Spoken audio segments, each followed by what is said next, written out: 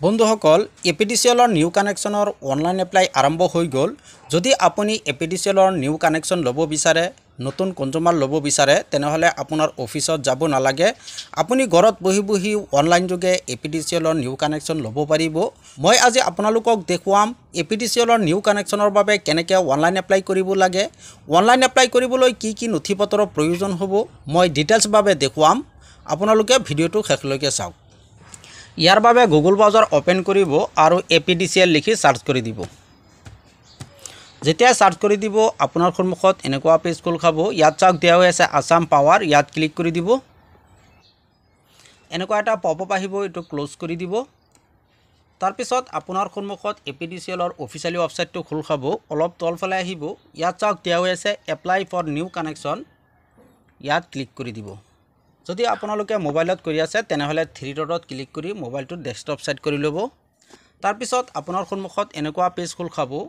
মই প্ৰথমতে দেখুৱাই লৈছোঁ ইয়াৰ বাবে অনলাইন এপ্লাই কৰিবলৈ কি কি নথি পত্ৰৰ প্ৰয়োজন হয় ইয়াত চাওক ডকুমেণ্টছসমূহ দিয়া হৈ আছে আপোনালোকে এইকেইটা পঢ়ি চাব পাৰে। প্ৰথমতে আছে পাছপৰ্ট চাইজ ফটো যিজনে এপ্লাই কৰি আছে সেইজনৰ পাছপৰ্ট চাইজ ফটো লাগিব।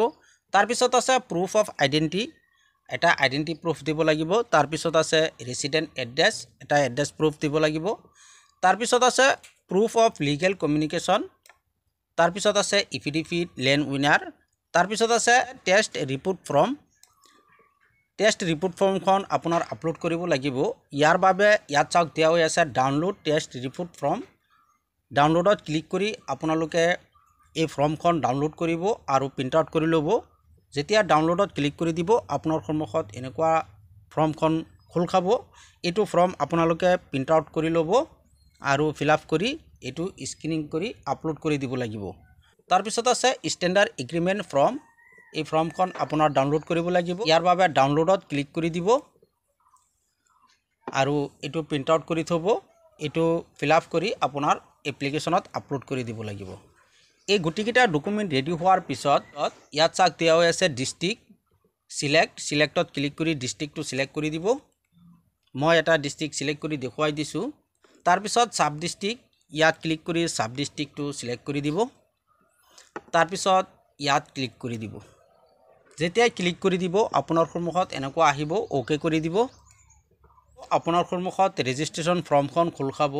ইয়াত চাওক দিয়া হৈ আছে নিউ কানেকশ্যন ৰেজিষ্ট্ৰেশ্যন ফৰ্ম প্ৰথমতে আছে এপ্লাইড কেটেগৰী আপুনি কি কেটেগৰীত নিউ কানেকশ্যনটো ল'ব বিচাৰে ইয়াৰ বাবে ইয়াত ক্লিক কৰি দিব আৰু ইয়াৰ পৰা আপোনাৰ কেটেগৰীটো চিলেক্ট কৰি দিব। আপোনাৰ যিটো হয় ডমেষ্টিক হয় ডমেষ্টিক বা যদি আপোনাৰ কমাৰ্চিয়েল হয় তেনেহ'লে কমাৰ্চিয়েল চিলেক্ট কৰি দিব। ডমেষ্টিক চিলেক্ট কৰি আপোনালোকক দেখুৱাই দি আছোঁ। তাৰপিছত আছে এপ্লাইড লোড কিলোৱাৰ্ড আপুনি কেই কিলোৱাৰ্ডৰ মিটাৰ ল'ব বিচাৰে ইয়াত বহুৱাই দিব। তাৰপিছত কনজুমাৰ ডিটেইলছ তলত চাওক দিয়া হৈ আছে নেম অফ দ্য এপ্লিকেণ্ট। ইয়াত যিজনে এপ্লিকেশ্যন কৰি আছে সেইজনৰ নামটো ইয়াত বহুৱাই দিব। তাৰপিছত ফাদাৰ্ছ নেম ইয়াত দেউতাকৰ নামটো বহুৱাই দিব। তাৰপিছত জি এছ টি যদি জি এছ টি নম্বৰ থাকে তেনেহ'লে ইয়াত বহুৱাই দিব। আৰু যদি নাথাকে তেনেহ'লে নালাগে। তাৰপিছত অলপ তলফালে আহিব।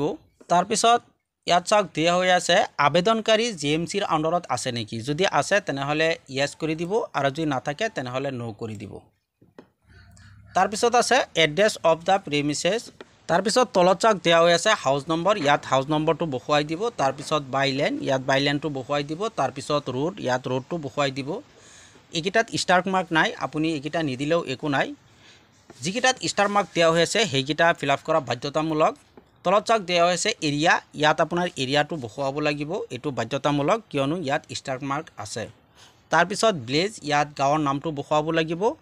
তাৰপিছত পোষ্ট অফিচ ইয়াত পোষ্ট অফিচটো বহুৱাই দিব। তাৰপিছত পুলিচ ষ্টেচন ইয়াত পুলিচ ষ্টেচনটো বহুৱাই দিব। তাৰপিছত ডিষ্ট্ৰিক্ট ইয়াত ডিষ্ট্ৰিক্টটো বহুৱাই দিব। তাৰপিছত পিনক'ড ইয়াত পিনক'ডটো বহুৱাই দিব।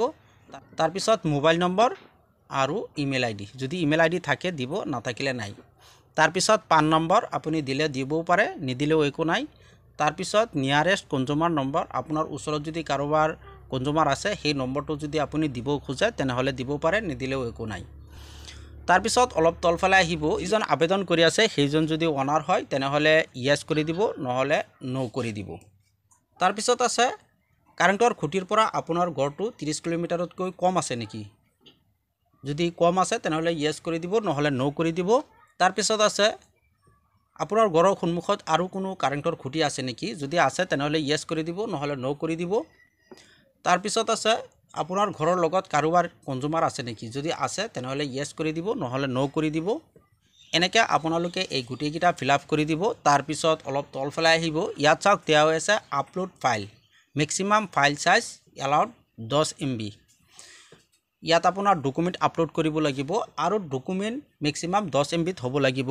মই প্ৰথমতে যিকেইটা ডকুমেণ্ট দেখুৱাইছিলোঁ সেইকেইটা ডকুমেণ্ট ইয়াত আপলোড কৰিব লাগিব। প্ৰথমতে আছে প্ৰুফ অফ আইডেণ্টি এটা আইডেণ্টি প্ৰুফ আপলোড কৰিব লাগিব। ইয়াত চাওক দিয়া হৈ আছে চিলেক্ট অপশ্যন ইয়াত ক্লিক কৰি দিব। আপুনি আইডেণ্টি প্ৰুফত কি ডকুমেণ্ট দিব বিচাৰে আপুনি ভোটাৰ আই ডি দিব পাৰে পাছপৰ্টো দিব পাৰে driving licence ration card B P L card PAN card Aadhaar card ইয়াৰ পৰা যিকোনো এটা আপুনি চিলেক্ট কৰিব আৰু চুইচ ফাইলত ক্লিক কৰি আগতীয়াকৈ স্কেন কৰি ৰাখি থ'ব। তাৰপিছত ইয়াৰ পৰা আপলোড কৰি দিব। তাৰপিছত আছে ৰেচিডেণ্ট এড্ৰেছ প্ৰুফ ইয়াত চাওক অপশ্যন দিয়া হৈ আছে। চিলেক্ট অপশ্যনত ক্লিক কৰি আপুনি এড্ৰেছ প্ৰুফত কি দিব বিচাৰে সেইটো আপুনি চিলেক্ট কৰি দিব তাৰপিছত চুইচ ফাইলত ক্লিক কৰি ডকুমেণ্টটো আপলোড কৰি দিব। তাৰপিছত আছে প্ৰুফ অফ লিগেল কমিউনিকেশ্যন ইয়াত চিলেক্ট অপশ্যন আছে ইয়াক ক্লিক কৰি আপুনি কি দিব বিচাৰে সেইটো আপুনি চিলেক্ট কৰি তাৰপিছত চুইচ ফাইলত ক্লিক কৰি আপলোড কৰি দিব। তাৰপিছত আছে টেষ্ট ৰিপৰ্ট ফ্ৰম চুইচ ফাইলত ক্লিক কৰি সেইটো আপলোড কৰি দিব। তাৰপিছত আছে latest passport size photo passport size ফটোটো আপোনালোকে স্কেনিং কৰি চুইচ ফাইলত ক্লিক কৰি আপলোড কৰি দিব। তাৰপিছত ইফিডিফিটটো আপোনালোকে স্কেনিং কৰি চুইচ ফাইলত ক্লিক কৰি আপলোড কৰি দিব। এই সকলোকেইটা ফিল আপ কৰাৰ পিছত অলপ তলফালে আহিব। ইয়াত চাওক ডিক্লেৰেশ্যন দিয়া হৈ আছে। এইটো বক্সত টিকচিন লগাই দিব আৰু ভেৰিফাইড ক্লিক কৰি দিব। তাৰপিছত ছাবমিটত ক্লিক কৰি দিব। যেতিয়াই ছাবমিটত ক্লিক কৰি দিব আপোনাৰ এপ্লিকেশ্যন কমপ্লিট হৈ যাব।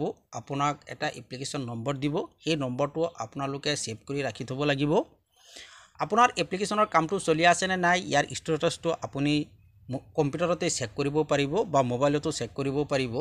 ষ্টেটাছ চেক কৰাৰ বাবে ওপৰত চাওক দিয়া হৈ আছে এপ্লিকেশ্যন ষ্টেটাছ ইয়াত ক্লিক কৰি দিব আৰু এপ্লিকেশ্যন নম্বৰটো ইয়াত বহুৱাই দিব আৰু ইয়াৰ পৰা নিউ কানেকশ্যনটো চিলেক্ট কৰি দিব তাৰপিছত চাৰ্জত ক্লিক কৰি দিব।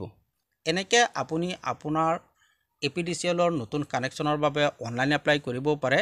যদি ভিডিঅ'টো ভাল লাগে লাইক কৰিব শ্বেয়াৰ কৰিব আৰু যদি কিবা জানিব লগা থাকে তেনেহ'লে কমেণ্ট কৰিব পাৰে।